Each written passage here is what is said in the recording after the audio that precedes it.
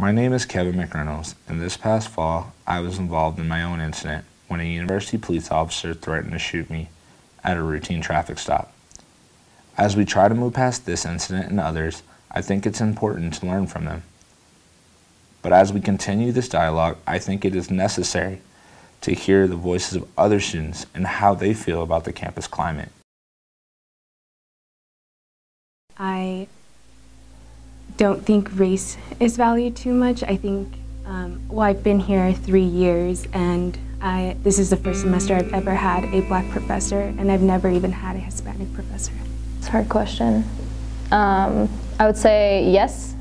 Um, overall, yes. Um, but do they value women and queer people on this campus? I don't know. Does UNR do enough to protect minority students on this campus? That's a hard no. Um, I believe they don't, in my opinion, because so I'm Native American, and this is originally Native American land, and you don't see anything that's Native American on this campus. We have one, like one like advisor or mentor that I would call my mentor, and that's pretty much the only person you see on campus. I would say no. I, within the last year, there have been three anti-Semitic incidents on campus, and we never got reached out to. I was the president of a sorority. Um, I was incredibly easy to access. All of my information was on the website, and not once did any administrator ever reach out to me and be like, how can we help um, you know, how can we help the Jewish sorority? How can we help the Jewish club? How do we make you feel better on campus?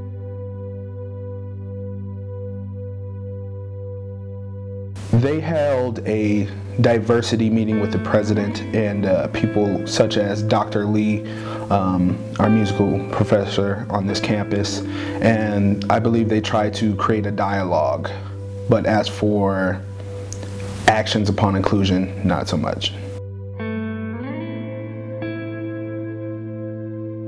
This morning, I was walking to my class, my only class of the day, and I see a cop pass by me, and then he turns all of a sudden into the parking lot, stops there, waits for me to walk by, and nothing happens. But the fact that I have to think that something's gonna happen, the fact that I gotta have my hands out, not have them in my pocket so he won't think that something's in there, that's not making me feel any safe. I don't think UNR has done a lot regarding racial issues.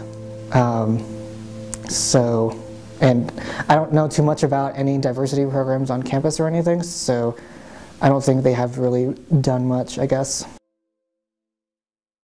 There's not enough knowledge about the University of Nevada in Hawaii.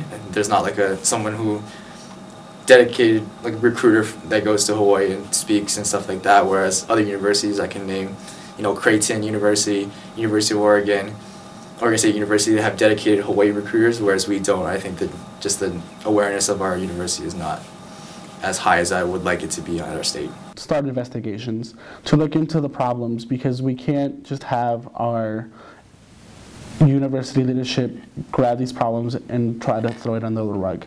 Everybody knows that they're here, everybody knows that it's present, and so we need the leadership to take charge and actually start looking into all the issues that we've had and actually going through and trying to find the person and punishing them.